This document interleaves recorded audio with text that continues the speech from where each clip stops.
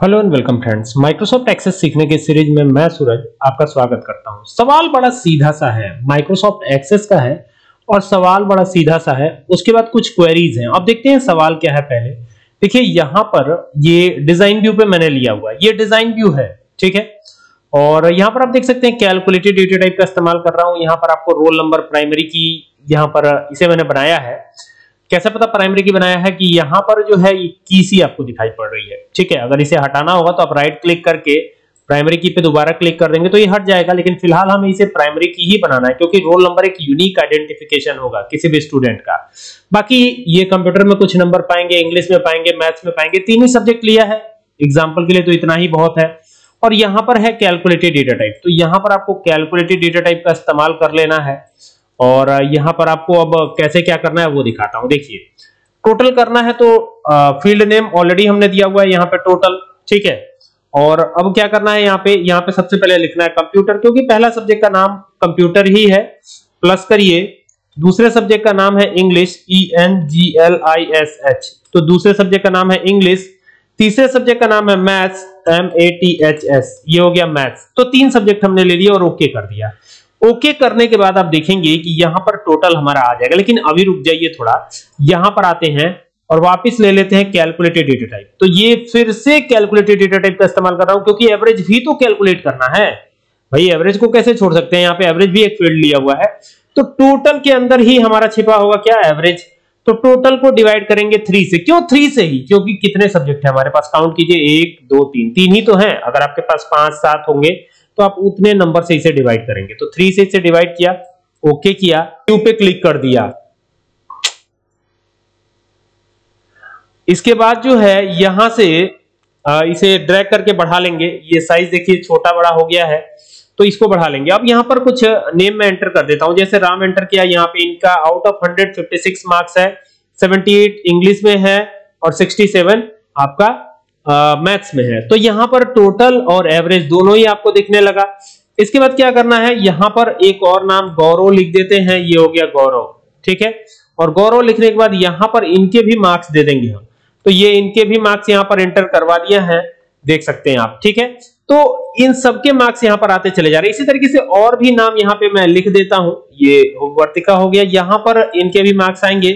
तो इनके भी मार्क्स कुछ इस तरीके के हैं, देख सकते हैं। अब देखिए, ये कोई एरर वैल्यू नहीं होती है। यहाँ से आप इसे ड्रैग करके इसकी साइज़ तो ये मार्क्स हो गए। तो यहाँ पर इनका भी एवरेज भी कैलकुलेट हुआ है और टोटल भी कैलकुलेट हुआ है। अब यहाँ पर क्वेरी समझनी है। दूसरा पार्ट हमारा क्वेरी का है। हमारे टेबल का नाम है स्टूडेंट टी बाद क्वेश्चन हमारा एसक्यूएल क्वेरी से है। क्या क्वेश्चन है? सिंपल सा क्वेश्चन है। क्या क्वेश्चन है? यहाँ पर ये एवरेज देख लीजिए। क्वेश्चन इसी से है। एवरेज यहाँ पे 67 है, यहाँ 48.333333 एंड सो ऑन है। और यहाँ पर 51.666 है, यहाँ पर 59.33 है, यहाँ पे 70 है 85 है 80 72 है और यहाँ पे 77.33 है। तो हम ये चाहते हैं ना कि जो मिनिमम मिनिमम एवरेज मार्क 75 से लेस वाला है, वो हमें दे दिया जाए। ये कैसे क्वेरी लिखा जाएगा? मिनिमम एवरेज मार्क्स वो भी 75 से लेस हो। तो 75 से लेस तो ये भी है 72 है, ये भी है 70 है 59 भी है 51 भी है 48 भी है 67 भी है। ठीक है तो ये सारे ही तो 75 से लेस हैं, लेकिन इस क्वेश्चन का मतलब ये है कि आपको मिनिमम मार्क्स कैलकुलेट करना है तो मिनिमम एवरेज कहाँ है? यही तो है मिनिमम एवरेज। ये देख रहे हैं, यही मिनिमम एवरेज है तो इसी को हमें फाइंड आउट करना है तो इसके लिए क्या क्वेरी लिखेंगे? देखिए, आसान सी क्वेरी है क्रिएट पे जाइए क्वेरी डिज़ाइन पे जाइए, और यहाँ से एसक्यूएल पर चलिए। और अब यहाँ पर क्वेरी हम लिखेंगे। कैसे लिखेंगे क्वेरी सबसे पहले यहाँ सेलेक्ट लिखा और यहाँ मेन जो प्री डिफाइन जो एग्रीगेट फ़ंक्शन है उसका यूज़ करेंगे। और यहाँ पे क्या दे देंगे? एवरेज हमारा जो कॉलम का नेम है यहाँ पर वो एवरेज ही है। हमने एवरेज ही दिया है तो जो देंगे वही ना लिखेंगे। तो यहाँ एवरेज दे दिया।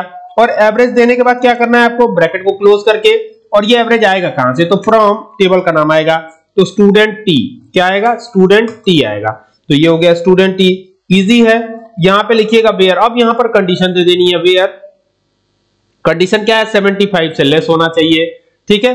और यहाँ ध्यान दीजिएगा, ये मिन फ़ंक्शन है। मिन फ़ंक्शन हमेशा लेस वाला ही देता है। सबसे लेस वाला ही देगा। ठीक है? तो ये ध्यान दीजिएगा। तो यहाँ पर अब कर देते हैं average A V R A G is less than less than क्या कर दिया? 75 तो सबसे 75 से लेस कौन है? एक ही है। वो यहाँ पर दिया गया है। तो यही हमारा आंसर आना चाहिए। अगर सब कुछ ठीक है तो यही आंसर आना चाहिए। तो इस क्वेरी को एक बार चला के देखते हैं क्या आंसर आ रहा है, क्या आंसर हमारा करेक्ट है। ठीक है? यहाँ पर आप इसे चाहे तो नेम भी दे सकते हैं, लेकिन चलिए, फ़िलहाल नेम ऑटोमेटिक इस पे अप्लाई हो जाता है। तो इसको छोड़ते हैं नेम अभी नहीं देते हैं। यहाँ से रन पे क्लिक करेंगे। तो रन पे क्लिक करेंगे तो यहाँ 48.3333 आ रहा है। और नाम तो हमने दिया नहीं था तो EXPR 1000 ऐसे करके कुछ आ जाता है। ठीक है? तो यहाँ पर ये आंसर आपको देखने को मिल रहा है। देखिए, एकदम सिंपल सी क्वेरी है। अगर यही मैक्सिमम निकालना होता तो क्या चेंजेस करते? मैक्सिमम निकालना होता तो एक छोटा सा चेंज होता यहाँ पर यहाँ पर आकर के। और यहाँ पर क्या करते? यहाँ पे मैक्स कर देते, मैक्स, ठीक है? यहाँ पे मैक्स करते और यहाँ पर क्या कर देते? यहाँ पर, चलिए, यहाँ पे लेस देन 75 में मैक्स देखना है आपको। तो यहाँ पर 72 आएगा। लेस देन 75 में मैक्स 72 कैसे है? आइए देखते हैं। यहाँ पर देखिए, ये 67 है, ये 48 है 48 तो होगा नहीं। लेस देन 75 ये भी है, ये भी है, लेकिन 70 भी लेस है 85 तो लेस है ही नहीं। लेकिन लेस देन 75 में सबसे बड़ा जो है वो कौन सा है? 72 ही है। तो यहाँ पर ये क्वेरी इसी के अकॉर्डिंग काम कर रही है। उम्मीद कर रहा हूँ कि आपको बात समझ में आ रही होगी कि ये क्वेरीज कैसे काम कर रही तो ये तो थी आपकी दूसरी क्वेरी अब यहाँ पर देखिए, क्या हम इन सारे एवरेज का सम भी कर सकते हैं? कैसे करेंगे? करना बहुत आसान है एसक्यूएल क्वेरी की मदद से। आइए देखते हैं कि कैसे करेंगे। तो इसको यहाँ से एक नई क्वेरी ही बना लेते हैं हम, या फिर इसी में आते हैं, इसी को एडिट कर लेते हैं। तो यहाँ से जाकर के और यहाँ एसक्यूएल क्वेरी पे चलेंगे, इसको हटाएँगे। इसकी ज़रूरत अभी तो नहीं है। तो यहाँ पर एक क्वेरी हमें ऐसी बनानी है, जिसमें एवरेज का सम होता हुआ नज़र आए। तो सबसे पहले तो सिलेक्ट स्टेटमेंट यहाँ पर और यहाँ पे क्या एग्रीगेट फ़ंक्शन सम का यूज़ करेंगे? सम एक फ़ंक्शन है जो कि आप जानते ही हैं ऐड करने का काम करता है। और यहाँ पर एवरेज को ऐड करना है, ठीक है?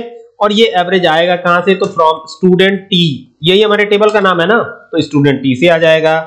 और फिर इसके बाद यहाँ पर कंडीशन भी चाहे तो आप दे सकते हैं। वेयर ठीक है? कंडीशन कुछ भी दे सकते हैं, लेकिन अगर इतना ही रखें तो क्या ये एवरेज का पूरा सम दे देगा? तो बिल्कुल दे देगा, एकदम दे देगा, ठीक है? आइए देखते हैं कैसे दे देगा। इसको पहले टेबल को क्लोज करेंगे, और अब यहाँ से क्वेरी डिज़ाइन पे जाके और इस पर रन पे क्लिक करेंगे। तो देखिए, ये एवरेज का भी टोटल दे रहा है हमें, ठीक है? यानी एवरेज का भी सम करके हमें दे रहा है। देख सकते हैं, यहाँ पर पाँच सौ तीस दशमलव करके आ रहा है। तो ये एवरेज का भी सम करके दे रहा है। कैसे? यहाँ पर देखिए। ये 67 है 48 है 51 है, इन सब का सम कीजिए टोटल कीजिए तो इतना ही आएगा। कैसे आएगा? यहाँ पर देखिए, मैं आपको करके दिखाता हूँ, आपको करना क्या है? यहाँ पर क्लिक करना है और यहाँ पर क्लिक करके इस पे आना है और इस पर आकर के इसका सम कर लेना है। तो जब सम करेंगे तो देखिए, इतना ही आपको रिज़ल्ट आता हुआ नज़र आएगा, जितने की आपकी क्वेरी में दिख रहा है, वही सेम रिज़ल्ट आपको यहाँ भी दिखाई पड़ेगा, ठीक है? तो यही है, उम्मीद करता हूँ बात आपको पूरी समझ में आ गई होगी। अगर आपको ये वीडियो पसंद आए तो शेयर ज़रूर कीजिएगा। और साथ ही साथ चैनल, जिसका नाम है कंप्यूटर एंड एक्सेल सोल्यूशन से सब्सक्राइब करना ना भूलिएगा। Thank you for watching